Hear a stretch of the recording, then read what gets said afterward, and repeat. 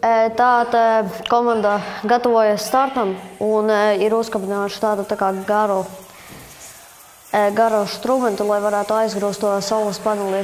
Projām pirmajā mēģinājumā nesanāca, bet nu, izdomāju mēģināt otru reizi. To, tad sanāca. Tā tad nākamo, pēc tam jau centās noņemt, lai varētu izpildīt nākamo misiju. Ielika noteiktā vietā un palaida robotu, lai izpilda to meteorītu. Tad aizbrauca, iesita, bet diemžēl trāpīja pa satelītu un bumbiņa nekur netrāpīja. E, Pēc tam pārbrauca pāri, robots pārbrauca pāri tam e, meteorītam, bet e, programmas dēļ viņš e, aizbēga prom no bāzes un nesanāca viņu noķert.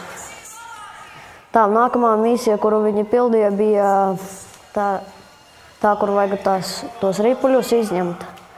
Uzlikās šitādu instrumentu un eh, brauca, uzmeta un sanāca visus paņemt un atvest līdz bāzei. Tad tagad jau lielākā daļa no misijām bija pabeigta, lika klāt šo pēdējo, pirmspēdējo e, to instrumentu un e, apakšā lika kaut ko, ar ko var pastumt to teleskopu. Palaida programmu un viss no sākuma ļoti labi aizgāja. Aizgrūda teleskopu līdz e, Baltajam. Bet tāda aizķērās aiz kaut kā un netrāpīja pa e, raķetes to, kas uzsita augšā viņu.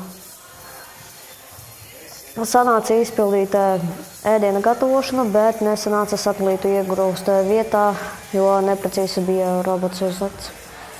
Atbraukšana atpakaļ bija diezgan laba, tik tas, ka bišķīt atkal aizķērās aiz e, raķetes. Un tā jau pēdējo instrumentu liek pie robota, lai varētu aizgrūst satelītus līdz eh, tām līnijām. Ielika tikko iekšā pašus satelītus un palaida robotu.